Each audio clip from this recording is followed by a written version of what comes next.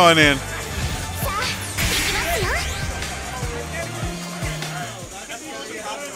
Did we sell? Uh, uh, we're on the VIP ones, man. They're not getting VIP treatment, but they got VIP wristbands. Oh shit! I just noticed. I feel special. And we ran out of trash can bags. I had to send one of these guys to go get some for me. and he got some small ones. Oh shit, that was hilarious. So there we go. All right, so Acidice the Biter, Shinjin, Acidice playing front, and Bolognios playing front. No, Frank playing Impulse. Hype Soup. Running away very well from Acidace. Oh no! That was good. The snipe would have been a lot more preferable to eating a full melee combo.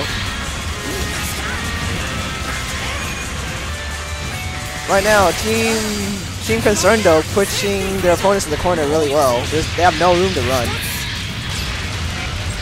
Not a good situation for them to be in.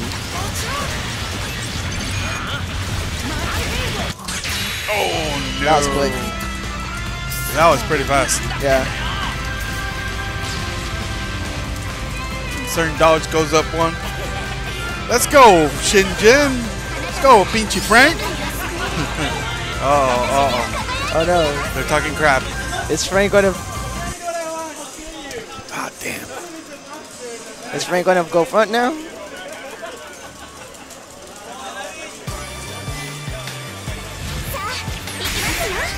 See?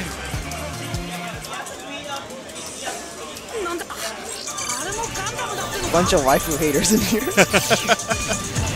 There we go. Let's check out ConcernDoge here. Alright, so uh, was Kilby talking to you earlier about like front and back? Yeah.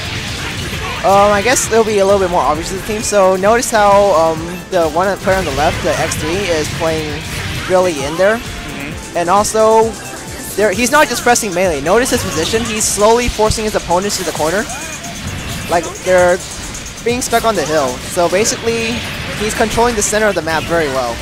And as a front player, you're not just there to do damage. You're there to basically gain space. So your back player can take shots a lot easy, more a lot more easily. So you become the sheep herder. Yeah. Basically, it's like if you're chess, you're the line of pawns in the front.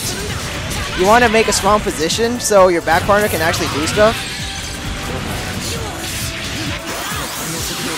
And a lot of times, you don't necessarily go for damage when you're playing front.